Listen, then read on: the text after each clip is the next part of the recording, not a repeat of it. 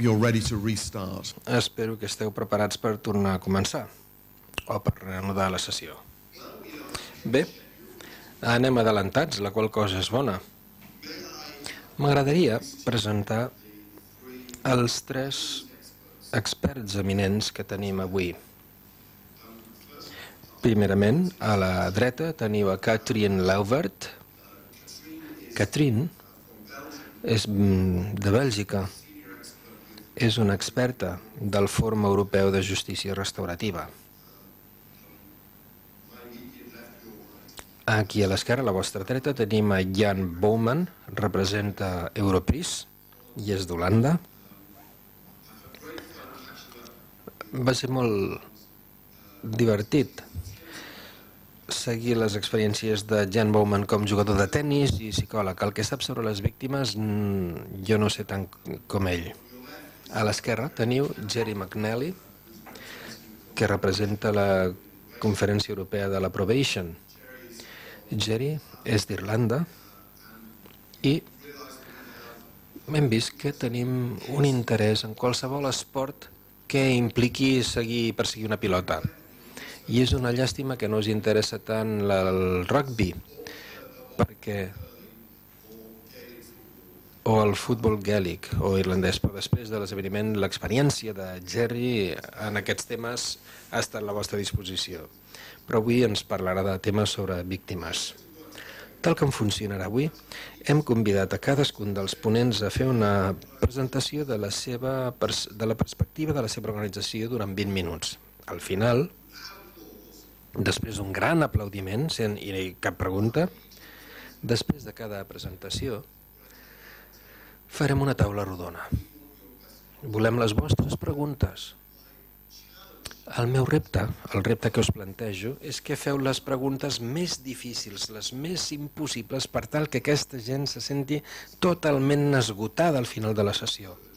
Estaria molt bé si podéssim tenir tota una sèrie de preguntes de la professió legal i preguntes de diferent caire, de professionals de la justícia penal, d'investigadors acadèmics, per tal que tinguem una representació àmplia. Si no feu preguntes, jo les preguntaré.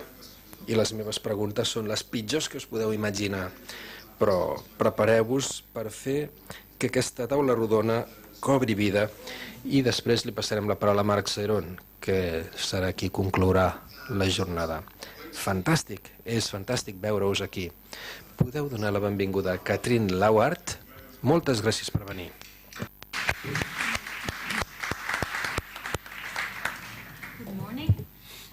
Bon dia. Gràcies a l'Institut per tenir-nos com a plataforma, però també en nom del Fòrum Europeu de Justícia Restaurativa, moltes gràcies per haver-nos convidat. Estem contents de compartir la nostra perspectiva sobre la directiva de les víctimes, que també crec que per les qüestions de justícia restaurativa és un document important. Però abans d'explicar què és el que inclou la directiva pel que fa a la justícia restaurativa, eh, JR, m'agradaria compartir algunes paraules sobre la nostra organització.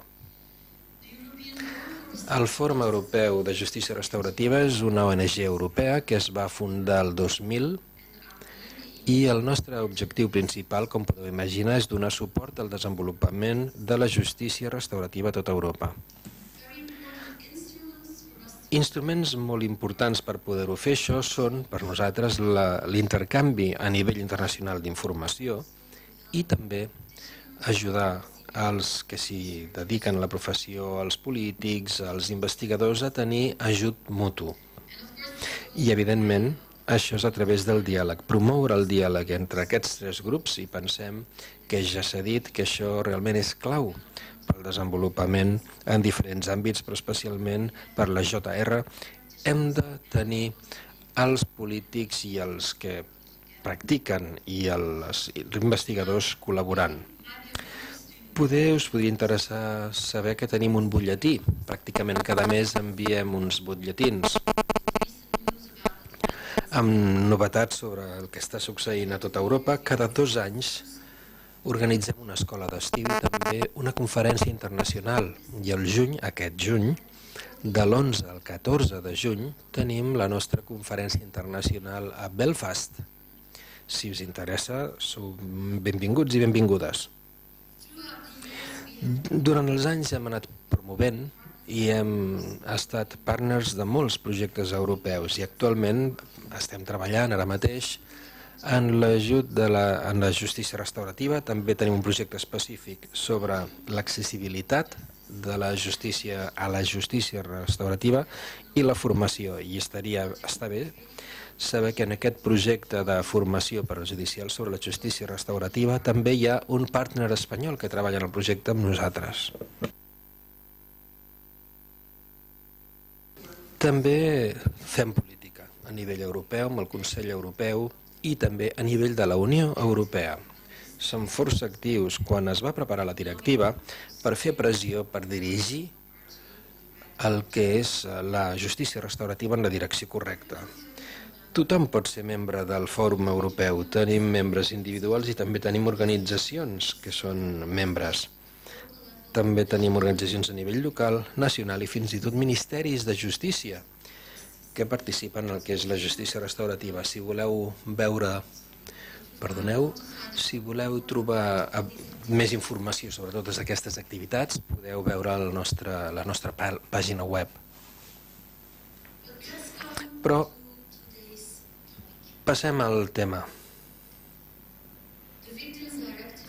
La directiva de les víctimes i la JR, la justícia restaurativa. Quan es va votar la directiva, la Unió Europea no va començar de zero en aquest àmbit. Ja havíem tingut un article en la decisió marc del 2001 sobre la situació de les víctimes en els procediments penals. De tota manera, hi havia molt a millorar per diferents motius. Aquest article tenia un contingut molt limitat. La definició de la justícia restaurativa era molt estreta i la formulació de l'article era molt ambigua. I a més, s'ha comentat abans, era una decisió marc. Aleshores, en termes de la poder legal del document, davant les autoritats no hi havia cap tipus de competència per fer valer el compliment. Era un document vinculant, sí, però si els estats membres no el complien, realment no hi havia cap instrument per forçar-los a fer-ho. Així doncs, què va passar quan va sorgir la directiva? Què vam, podem trobar pel que fa a les víctimes i la JR a la directiva? I també m'agradaria veure amb vosaltres si és un pas endavant, què és el que manca, poder en aquest nou document i m'agradaria dir algunes paraules sobre la implementació. Primerament, què veiem en resum? I després explicaré una mica més detall els diferents aspectes. En termes generals, podem dir que hi ha una atenció més explícita per la JR hi ha una atenció més elaborada per la justícia restaurativa en aquesta directiva per, sobre les víctimes, si ho comparem amb la decisió Marc que us comentava. Tenim un reconeixement clar dels beneficis de la JR per les víctimes i una bona definició dels serveis de justícia restaurativa. Molt important pel que fa a millorar l'accessibilitat per a les víctimes de la justícia restaurativa és l'obligació d'informar les víctimes pel que fa a la disponibilitat dels serveis de justícia restaurativa. I molt important, molt important, que això és el que va tenir l'èmfasi principal en la directiva, és el dret a salvaguardar en el context, el dret a unes salvaguardes en el context de les serveis de justícia restaurativa, us ho explicaré més tard. I ja he explicat que és un pas endavant, certament, és que és una directiva, aleshores té una força legal més forta que una decisió marc. No només és vinculant, un document vinculant, els estats membres l'han d'implementar, no només això, també es, es farà valdre. Si els estats membres no la implementen correctament, hi ha diferents possibilitats de forçar-los a que ho facin. Anem a veure ara alguns d'aquests aspectes. Primerament, el reconeixement, clar, dins del que és la 46, el preàmbul del document, que diu que la justícia, els serveis de justícia restaurativa, incloent, per exemple, la mediació entre delinqüent i la família, també el que és els cercles de sentències poden ser molt beneficiosos per la víctima. Així, doncs, per les persones que treballen a la pràctica i per als investigadors, això no és res de nou. En el passat, potser fa 10-20 anys, hi ha hagut diferents, molts investigadors han fet molts estudis que demostren que hi ha un clar benefici, pot haver un clar benefici per a les víctimes de delictes en el fet de participar en la justícia restaurativa. No obstant això, també hem vist que en la història de la justícia restaurativa, especialment al principi, hi ha hagut una mica de dubtes de, per a part, per exemple, de les organitzacions o associacions de víctimes, que no estaven molt segures de si era bo per a les víctimes o no era massa fort per a les víctimes. Crec que, mentrestant, s'han fet molts estudis i molts casos reals de la pràctica que han demostrat que, que per les víctimes interessades està ben consolidat la seva utilitat. Per tant, crec que políticament és molt important que aquesta directiva reconeixi això.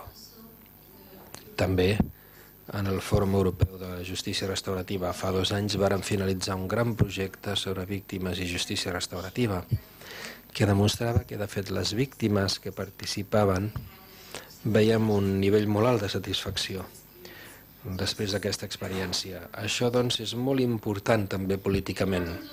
També és important en aquesta consideració de la directiva és que ara es reconeix que la justícia restaurativa no només és mediació, cobreix un ampli espectre de pràctiques que poden adaptar-se en funció de les circumstàncies, en funció de la cultura. Es refereix a la mediació, les conferències i també cita exemples. Això també és un avenç. Tenim una bona definició de la justícia, dels serveis de justícia restaurativa. Diu que la justícia restaurativa vol dir qualsevol procés que permeti a la víctima i a l'infractor participar activament, si dona el seu consentiment lliurement per ell, en la solució dels problemes resultants de la infracció penal amb l'ajut d'un tercer imparcial. No hi ha cap sorpresa en aquesta definició.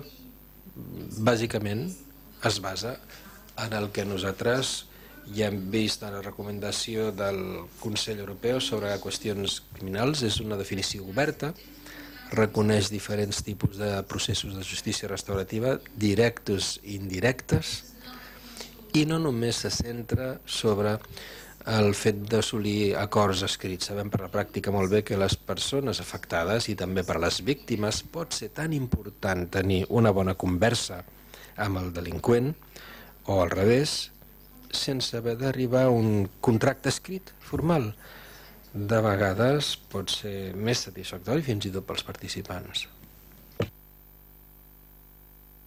Un segon element és el dret a la informació sobre justícia restaurativa. Aquest és un gras pas endavant per millorar l'accessibilitat eh, per les víctimes per tal que les víctimes puguin tenir accés a la justícia restaurativa. Aquest, l'article 4, obliga els estats membres a assegurar que a les víctimes se'ls ofereix informació sobre els serveis de justícia reparadora existents des del primer contacte amb l'autoritat competent. I totes les paraules són importants en aquesta frase.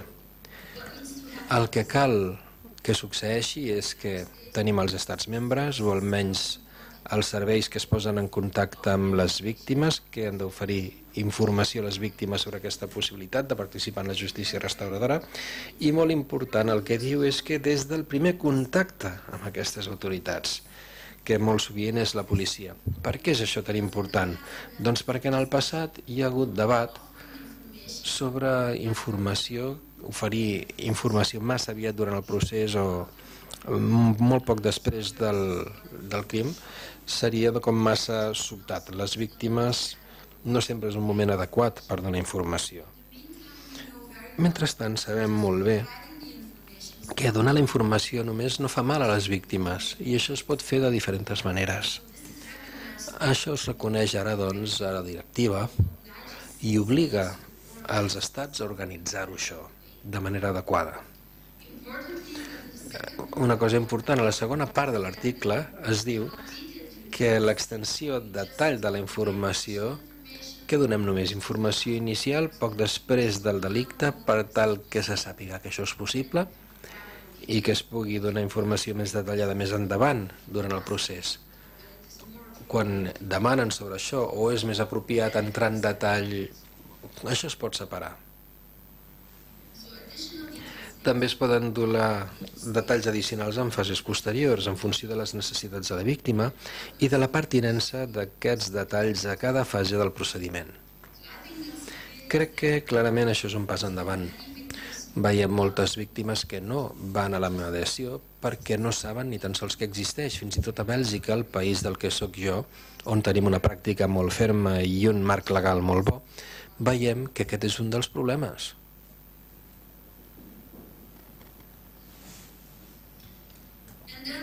I aleshores, probablement, la part més important de la justícia restaurativa de la directiva és l'article 12.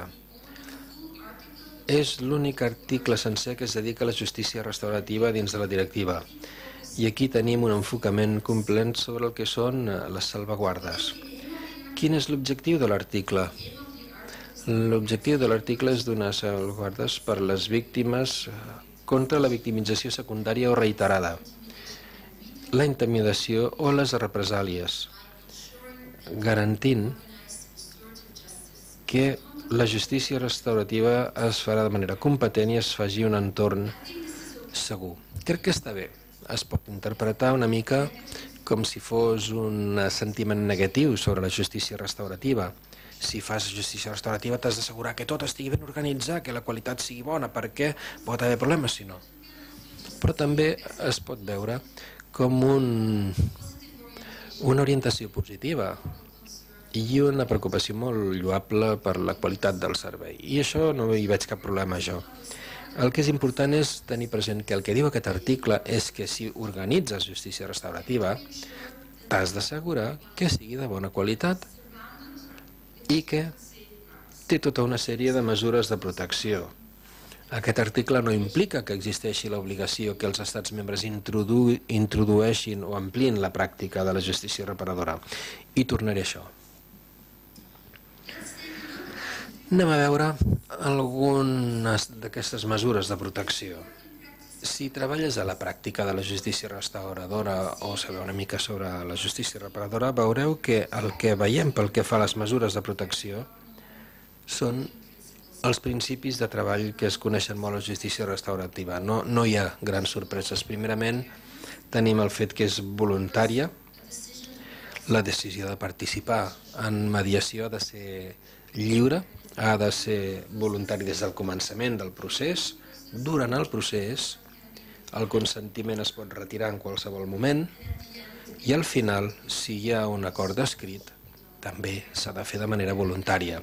Es reconeix els tres elements importants de la voluntarietat en els processos de justícia restaurativa. Un segon principi nou és la confidencialitat. Aquí es reconeix que si no és un procés de justícia restaurativa que és públic, el que passi dins d'aquest procés no s'ha de dir. Hi ha dues excepcions només. La primera és una excepció estàndard que es veu totes les normatives i que és molt normal a la pràctica. Si les dues parts o les diferents parts de la mediació es posen d'acord, que certa informació es pot donar, per exemple, a les autoritats judiciàries, i escriuen un nou un acord, que molt sovint veiem que passa a formar part de l'expedient administratiu. Aleshores, normalment, només amb el consentiment de les parts tot tipus d'informació pot ser donada a conèixer. Una segona excepció, potser menys coneguda, és que també la informació es pot donar a conèixer si ho exigeix la legislació nacional degut a un interès públic prevalent, que és una fórmula molt ambigua. En el memoràndum i en el preamble s'explica que en situacions en què hi ha hagut amenaces o violència durant el procés de justícia restaurativa, aleshores es permetria donar a conèixer aquest tipus d'informació. Seguretat. Crec que tots els que treballeu a la pràctica és una preocupació normal, que cal assegurar que la víctima i el delinqüent es puguin trobar en un mateix context. I els estats membres també facilitaran la derivació dels casos. Això està molt bé. Però també diuen que segons resulti apropiat pels serveis de justícia restaurativa, perquè és una obligació molt limitada. La justícia restaurativa només serà possible si el delinqüent ha reconegut els fets bàsics del cas. La, els elements importants són els uh, elements fàctics bàsics del cas. Ha d'admetre, no cal admetre la, la culpabilitat plena, això és bo. A la literatura això de vegades també es debat. Veiem en mediació i també en la pràctica que no ens cal admetre totalment la culpabilitat legal per tenir una bona mediació, per tenir una bona conferència. El que cal és un acord bàsic sobre el que ha passat entre les parts i aleshores es pot començar a treballar amb elles i dialogar amb elles. Tot acord pot ser tingut en compte en qualsevol altre procés penal. Vol dir que hi ha la possibilitat de mantenir un enllaç amb el procediment penal, no és necessàriament el cas, i això obre la porta perquè els estats membres organitzin aquest enllaç de diferents maneres. I després una última frase que m'agradaria comentar una mica més és que la justícia, els serveis de justícia reparadora només s'han d'utilitzar si redunden en interès de la víctima. Això sembla sentit comú. No en podríem imaginar... Bé, potser sí que es pot imaginar, però hem d'assegurar-nos que no succeeixi, però és normal que s'exigeixi que no s'organitzin mediacions o conferències si n'és contra l'interès de la víctima. I és important equilibrar aquesta preocupació per la víctima i pel delinqüent. De tota manera, si ens fixem en el preamble del document, en el preàmbul, va més enllà. En el preàmbul diu, de fet, que la prioritat eh, vaig a veure el... diu que els interessos i les necessitats de les víctimes han de ser la consideració principal per als serveis de justícia restaurativa. Personalment, crec que aquí la directiva està una mica fora de línia. Crec que la justícia restaurativa és molt important organitzar. El primer ponent també s'ha referit. Ens, ens hem d'assegurar d'organitzar un plantejament equilibrat en què els interessos de les víctimes i els delinqüents es tinguin en compte de manera equilibrada i igualitària. Crec que això no només és per l'interès del delinqüent, sinó també de la víctima i de la societat en conjunt. Mesures de protecció. Crec que és bo que la directiva se centri en mesures de protecció. No obstant això, aquest és el principi i l'enfocament més important. I crec que també hi ha una oportunitat perduda d'indicar el fet d'escollir un enfoc exclusiu sobre les mesures de protecció. Perquè el que veiem per tota Europa és que el repte més important o els obstacles més importants per un ulterior desenvolupament de la justícia restaurativa és la manca d'accessibilitat a la justícia restaurativa també per les víctimes. I aquí veiem que la directiva no pren una posició ferma. El que veiem és que a la pràctica sovint les víctimes a les quals eh, els interessa no tenen accés perquè en alguns llocs del país simplement no hi és, no és present no és, no és disponible o només es limita a alguns tipus de delictes. A alguns països els delictes més greus estan exclosos de la justícia restaurativa, tot i que sabem de països, Bèlgica és un d'ells, on des de fa molts anys practiquem la justícia restauradora en delictes greus i que aquestes víctimes sovint són les que més n'aprofiten aquest procés, perquè són les més ansioses de poder abordar-ho a nivell emocional, a nivell psicològic i sovint fins i tot a nivell pràctic. Crec, doncs, que això és una opció que no és bona. I les pràctiques que existeixen per casos greus ho demostren. També es limita sovint a una certa fase del procediment penal, el que tenen accés les víctimes. I últim, però molt important, a molts països les víctimes no tenen accés directe, no hi ha possibilitat d'autoderivació. La qual cosa vol dir que molt sovint, podríem dir, la justícia restaurativa és una eina per al sistema, però ens podríem preguntar si sempre és també una eina per a les víctimes i per als delinqüents, perquè ben sovint és el sistema el que decideix què s'ofereix o quan, a qui s'ofereix i no és la gent que la necessita la que de vegades es pensa que és la que la pot demanar. És una oportunitat perduda que la UE no ha demanat una major disponibilitat, una disponibilitat més general dels serveis de justícia restaurativa a nivell nacional i per tot tipus de delictes i assegurar-se també de la possibilitat d'autoderivació que existeixi qualsevol fase dels procediments penals. Haig de dir que en els documents preparatius de la directiva podem veure que en un principi aquesta ambició hi era, es volia assegurar que hi hagués accés per totes les víctimes a la restauració, no només reparació en el sentit financer, sinó restauració. Era un dels cinc objectius principals. Però veiem que a través del procés polític i a través de tot el procés que segueix la directiva abans que sigui acceptada i votada, aquesta ambició es va anar reduint, reduint fins al que tenim ara. I si llegiu els documents veureu que també les qüestions financeres i polítiques han tingut importància, especialment a països que pràcticament no tenen encara justícia restaurativa. Seria molt greu, per exemple, les implicacions financeres, i això va ser molt delicat durant el procés de negociació.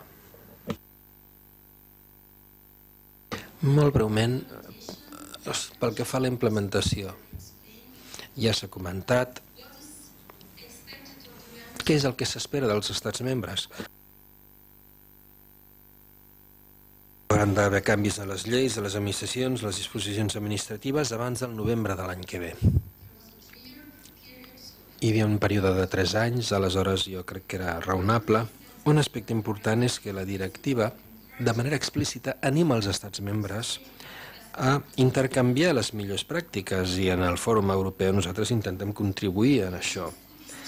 I junt amb aquests canvis de les lleis, també és important saber que dos anys més tard la Comissió també espera que els estats membres tinguin dades per tal de demostrar que les víctimes han rebut accés a aquesta informació que he comentat i a aquestes diferents mesures de protecció en el sistema. I què succeeix pel que fa a la implementació en el terreny?